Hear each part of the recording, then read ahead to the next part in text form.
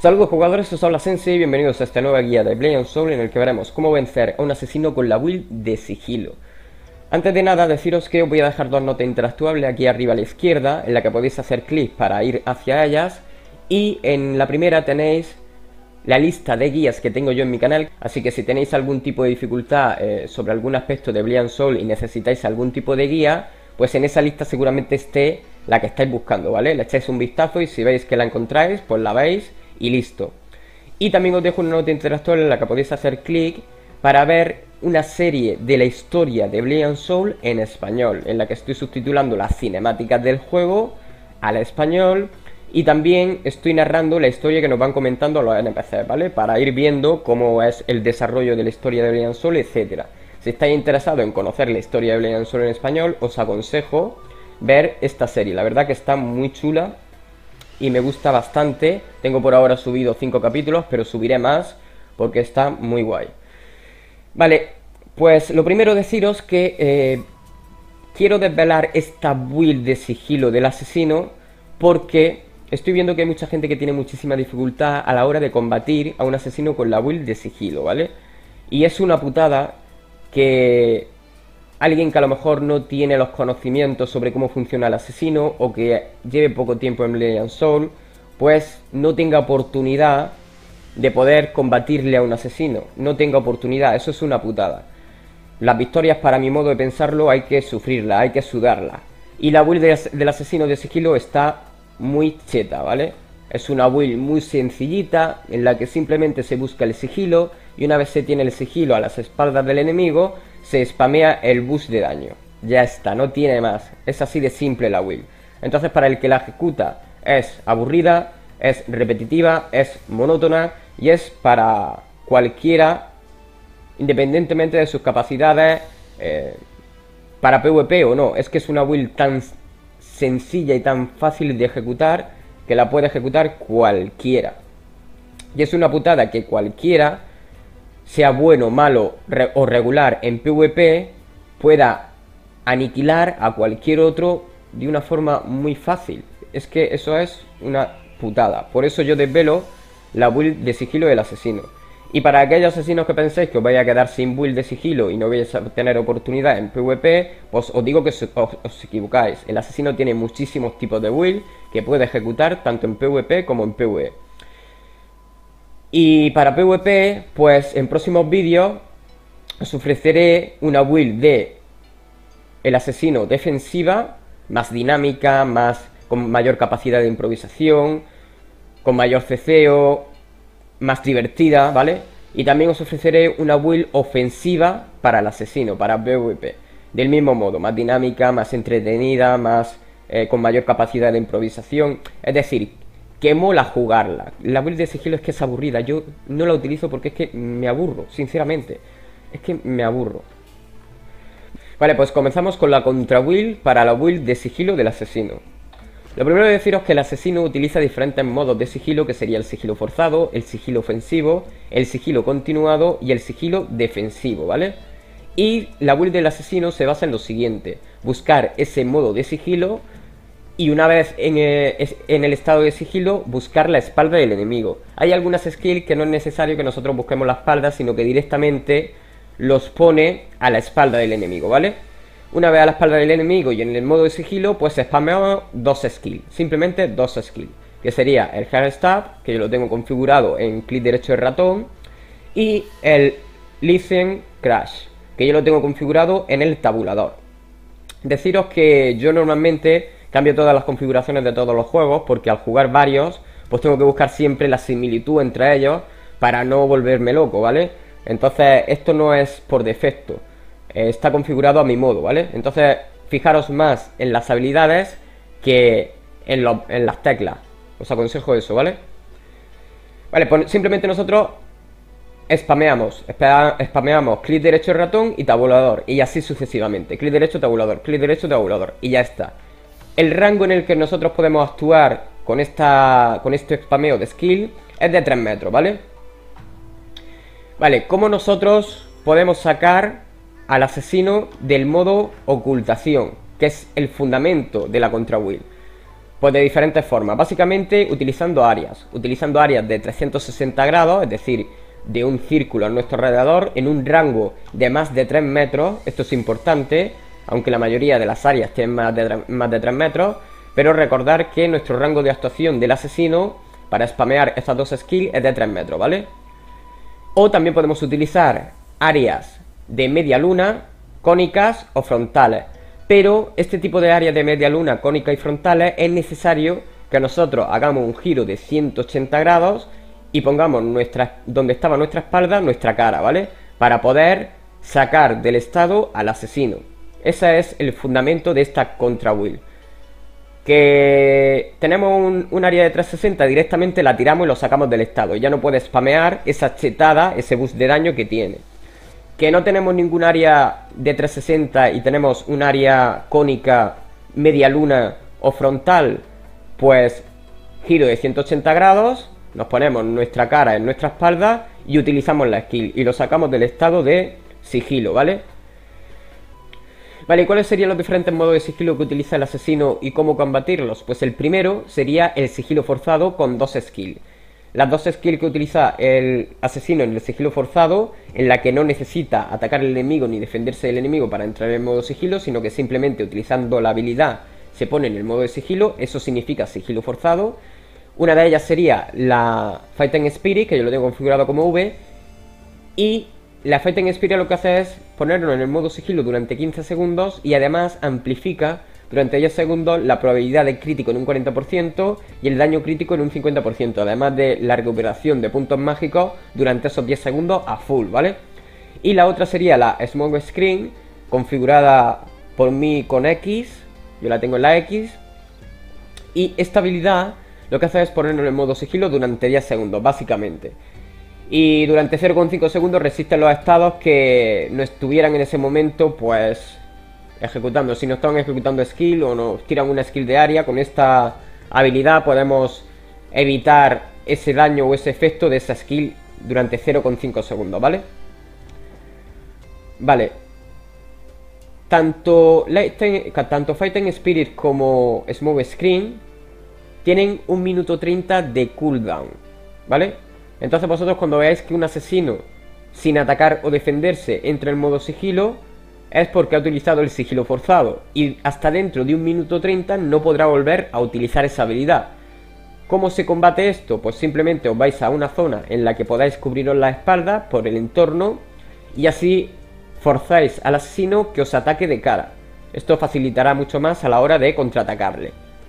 Pero aún así, estas dos habilidades son las que tiene el asesino más chetas, por así decirlo, porque le da la capacidad de una gran improvisación. Le da la capacidad de utilizar prácticamente todas sus skills en modo sigilo y poder utilizar diferentes modos de juego a la hora de atacar. Entonces, porque os pongáis de espalda contra algún entorno, no significa que no os vayan a, a atacar, ¿vale? Simplemente significa que evitáis que os spameen el Hard Stab y el Lightning Crash. Os atacarán de otra, de otra, de otra forma. Vale, el otro modo de sigilo sería el sigilo ofensivo en el que tenemos tres skills que utiliza el asesino. Una sería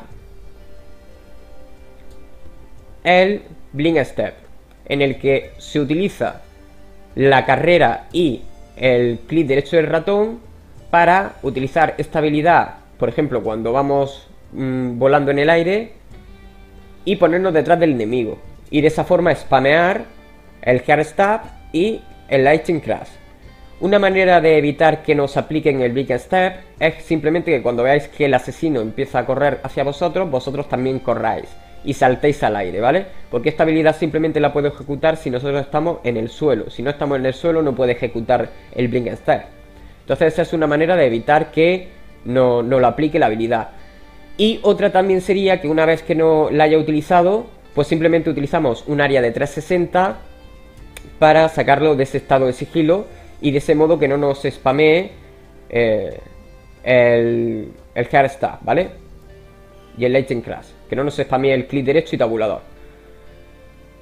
También, en el caso de que no tengamos una 360, pues damos un giro de 180 grados porque lo tenemos a la espalda, la propia habilidad lo pone en la espalda, ¿vale? Entonces lo tenemos en la espalda, damos un giro de 180 grados y utilizamos área de, media luna, área cónica o área frontal. Lo que nosotros tengamos a mano. Lo sacamos del estado de sigilo y listo.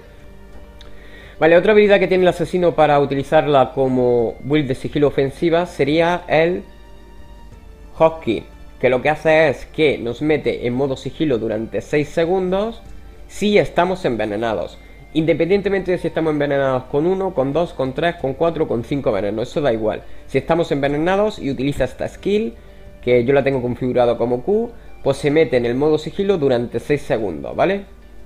Y además recupera pues 5 focus de puntos mágicos.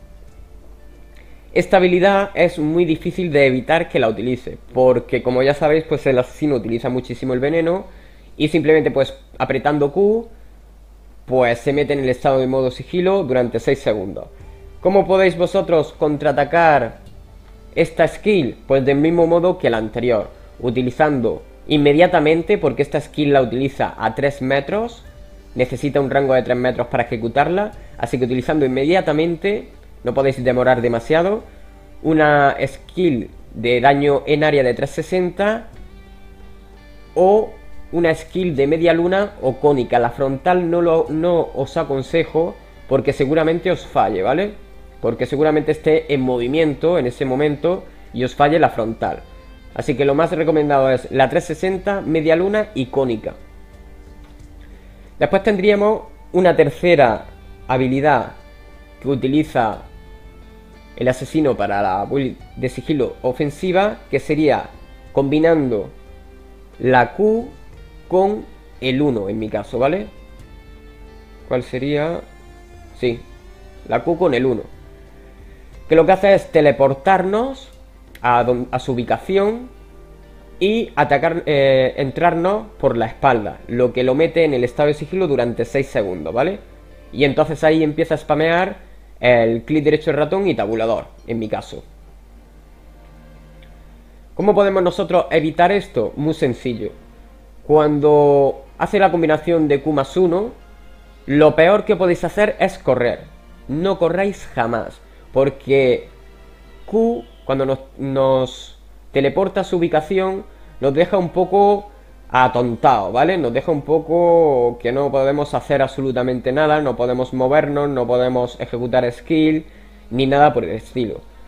Entonces, los asesinos van a aprovechar esa situación para meterse en el modo sigilo y para empezar a spamear el clic derecho más tabulador. Y nosotros lo que tenemos que hacer es simplemente utilizar skill de área, directamente. No corráis, porque mientras que corráis, ellos ya están eh, spameando este, eh, esta combinación. Entonces lo que le vais a dar es más ventaja a la hora de que lo utilicen. Simplemente utilizáis habilidad de 360 y en el caso de que no tengáis 360, media vuelta, 180 grados, ponéis vuestra, vuestra espalda a vuestra cara y de ese modo utilizáis habilidad de media luna, cónica o frontal y lo sacaréis del modo de sigilo. Eso es lo más rápido para sacar al, al asesino del modo de sigilo en esta situación. Como corráis, ya la habéis cagado. Van a bajar la mitad de la vida. Muy rápidamente, ¿eh? Después tendríamos el modo de sigilo continuado, en el que el asesino utiliza este modo de sigilo para seguir permaneciendo en el modo sigilo, ¿vale? Tendría dos skills con las que se puede utilizar y con estas dos skills puede seguir mantenido en el modo sigilo durante 6 segundos más. Una de ellas sería el Ball Strike, en el que la utiliza en un rango de 16 metros, esto es una chetada habilidad, y nos estunea por 2 segundos y además nos mete en el estado de blinde y mudles por 5 segundos. Además de ponerse en el estado de sigilo durante 6, como he dicho, ¿vale? Normalmente un asesino cuando utiliza esta habilidad lo que hace es acercarse lo más rápido a nosotros para poder spamear clic derecho de ratón y tabulador en mi caso, ¿vale? El Lightning Crash y el Hard Stop. De ese modo pues nos mete ese boost de daño. ¿Qué nosotros tenemos que hacer? No correr. Si nosotros corremos, la hemos cagado. Si nosotros corremos del asesino, una vez esté en el modo sigilo, la hemos cagado. Porque él va a aprovechar para spamear su boost de daño. Con un rango de 3 metros. Él va a aprovechar que nosotros queremos escapar para bajarnos el queso muy rápidamente. Entonces, ¿qué debemos, ¿qué debemos hacer? Quedarnos en el sitio, visualizar dónde se encuentra y si tenemos área de 360, cuando esté a nuestro rango, ya sabéis que tiene que spamear en un rango de 3 metros, pues utilizarla para sacarlo en modo sigilo. Que no tenemos de 360, pues tenemos que ubicarlo en un rango de media luna o cónica o frontal, donde se encuentra y hacer el giro y ponernos de cara al asesino para poder ejecutarle esas skills y sacarlo del modo sigilo. Deciros que con esta habilidad el asesino no se pone directamente a la espalda, ¿vale? Entonces tenemos que ubicarlo visualmente, no es como otras que directamente sí se pone en la espalda, como he comentado antes. Con esta él tiene que moverse. Entonces hay que ubicarlo visualmente para ver por dónde va. Que lo podemos ver pues por la distorsión que provoca en el paisaje, como ya sabéis, si os, habéis dado cuenta. Y, después tendría otra habilidad que sería el Shadow Drain, que es muy parecida. Simplemente que tenemos un rango de 13 metros para poder mantenernos en el modo sigilo durante 6 segundos y recupera 15 de focus, ¿vale? 15 puntos mágicos durante 5 segundos. Pero esta habilidad tiene que utilizarla a un rango de 3 metros. Sí o sí. Entonces lo tenemos relativamente cerca y e, cuando utilice esta habilidad seguramente sí esté en la espalda, ¿vale? Esa es la diferencia entre esta y esta. Con esta seguramente sí esté en la espalda, por lo que simplemente en el caso de que no tengamos una 360 nos damos un giro de 180 grados, nos ponemos de cara a él y utilizamos área de media luna, cónica o frontal para sacarlo del estado de sigilo. Y esta, sin embargo, hay que ver por dónde va, por dónde anda, hacia dónde va a tirar, etcétera, etcétera, ¿vale? Esa sería la diferencia fundamental. Otro modo de sigilo sería el sigilo defensivo, en el que el asesino utiliza las skills defensivas para poder entrar en el estado de sigilo. Y tiene cuatro habilidades disponibles para poder entrar en ese modo de sigilo. Una sería el decoy, y el decoy es una habilidad que siempre el asesino utiliza después de atacar al enemigo. Es decir, cuando nosotros estamos jugando contra un asesino y el asesino eh, deja de pegarnos y somos nosotros los que podemos contraatacar, cuidado porque en este momento es cuando el asesino utiliza el decoy. Entonces lo óptimo es esperar un segundo o segundo y medio, dependiendo de la configuración de stage. Por ejemplo, podemos estar en stage 2 o en stage 3, depende de la configuración y la build del asesino. Suele variar entre uno y un segundo y medio, pero vosotros mediante la animación de la habilidad, que es bastante cantosa, pues podéis reconocer si el asesino la está utilizando o no. Cuando veáis que la habilidad termina de hacer la animación es cuando debéis atacar. Repito, el asesino siempre que vayáis a contraatacarle utiliza esta habilidad, siempre, ¿vale? No falla. Es protocolo, por así decirlo, ¿vale? Esperáis un segundo, segundito y medio y la habéis jodido vivo. Otra habilidad sería la Strike Doll. Y esta, en este caso, es cuando vosotros metéis al asesino en el modo de Snowdown, ¿vale? Cuando lo metéis en el estado de Snowdown, el asesino suele utilizar esta habilidad que tiene un counter de 0,8 segundos para poder meterse en el modo de sigilo y ponerse a la espalda. Esta habilidad lo pone a la espalda al igual que esta, también lo pone a la espalda del enemigo, para poder spamear el clic derecho del ratón y el tabulador, el Legend Crash o Hard Stop, y hacer ese boost de daño chetado, ¿vale? ¿Qué debéis hacer vosotros cuando ponéis en Snowdown al asesino? Esperaros un segundito. Os esperáis un segundito a que tire la habilidad y después le, atacáis. Así de simple. Porque siempre que él esté en Snowdown, la habilidad prioritaria que va a utilizar siempre va a ser esta, el Straw Down. Otra habilidad que tiene el asesino como build defensiva de, sigilo sería el Stealth, en la que si el asesino se encuentra en el modo de Snowdown, Stun, Daze, Inconsciencia, Grapple, Grab o Phantom Grip, pues utiliza esta habilidad que lo tengo configurado como X y se lanza hacia de atrás en un rango de 8 metros y se pone en el modo sigilo durante 6 segundos. Deciros que esta habilidad tiene un cooldown de 36 segundos, por lo que durante los 36 segundos próximos, bueno, los 30, porque el modo sigilo serían 6 segundos, durante los 30 segundos próximos no podrá volverla a utilizar, ¿vale? Este es un dato importante que tenéis que tener en cuenta. Así que podréis meterle los demás estados de ceseo alterados para poder atacarle. Y también deciros que en el caso de que tengáis alguna área mayor a 8 metros, pues sí podréis sacarlo del estado, porque el asesino con esta habilidad simplemente lo que hace es echarse hacia detrás, o sea, se encuentra en la misma posición de inicio, pero a un rango de 8 metros. Si tenéis un área frontal mayor a 8 metros, pues lo podéis sacar del estado, o cónica, o media luna, o 360. Eso ya depende del rango de área que tengáis, en el caso de que tengáis, ¿vale? O si decidís moveros hacia adelante para alcanzar ese rango, también lo podéis hacer, moveros hacia adelante y utilizar esa habilidad para sacarlo del estado de sigilo. Y por último, la última habilidad que tendríamos sería, yo lo tengo configurado como F, sería la Side Style Left. Y esta habilidad es muy cheta porque es una habilidad que tiene un cooldown de 8 segundos y que se ejecuta siempre que nos inflijan ataque. Es decir, nosotros si ejecutamos esta skill con F, en mi caso, y nos están ejecutando ataque, pues yo resisto el daño y los efectos de ese ataque y además me, me meto en el modo de sigilo, ¿vale? Y recupero 6 focus, además. Por eso es una habilidad muy complicada. Esta para mí es la mejor habilidad que tiene el asesino a la hora de trolear al enemigo.